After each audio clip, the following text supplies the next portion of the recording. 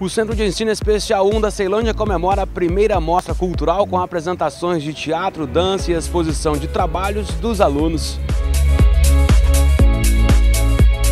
O Centro de Ensino Especial é uma escola que trabalha com o coração. É um local onde os professores são especialistas para trabalhar com pessoas com deficiência. É uma escola que atende bebês de zero as senhoras e senhores de 60 anos de todas as deficiências, principalmente as deficiências intelectuais e TGDs, transtorno global de desenvolvimento. Gente trabalha muito com eles o tato, a audição, o visual, é, comportamento, questão de comportamento, porque o nosso currículo ele é baseado no currículo funcional, que é dar funcionalidade às aquisições que os nossos alunos vão tendo para o dia a dia.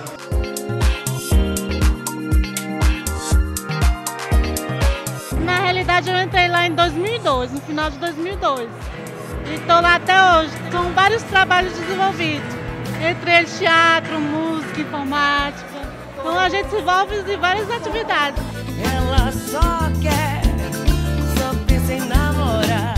Meu filho estuda no ensino especial número 1 um desde os três anos. Assim, eu descobri o autismo de uma forma meio assim conturbada na minha vida, né? E foi a partir do ensino especial que meu filho começou a se desenvolver, né? Eles assim me mostraram as perspectivas de lidar com uma criança autista sem me desesperar, começar a compreender o que é esse mundo da criança especial.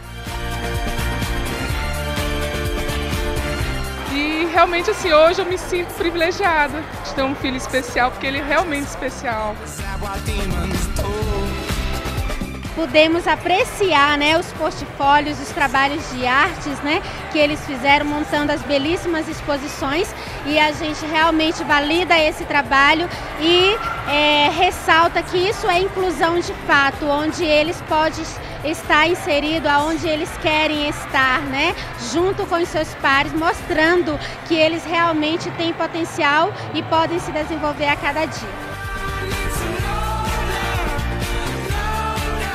Além de ser professora, eu sou mãe da Helena, que tem síndrome de Down. Então, como mãe e como professora, eu estou sentindo assim uma emoção, o coração está transbordando de amor, principalmente por ter esse espaço para trabalhar, que é essa nossa escola, que é movida pelo amor dos nossos colegas. Tudo que a gente faz é com amor, é com o coração aberto. É como se a gente estivesse fazendo para os nossos filhos.